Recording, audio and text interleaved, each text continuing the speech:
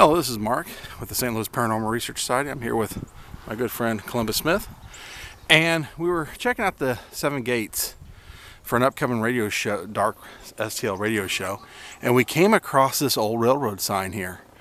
And what it was was the gates are actually a series of railroad trestles, and this was the track that went over the trestles where the track once went. And what's neat is if we come over here, you see the sign. There's a big old dog in the distance. We're to have to make this quick. But here you can see where the trestle went, train tracks went, and where they went over this way. Right through there. So this is Mark with the St. Louis Paranormal Research Society. Please like, share, and follow. Happy haunting.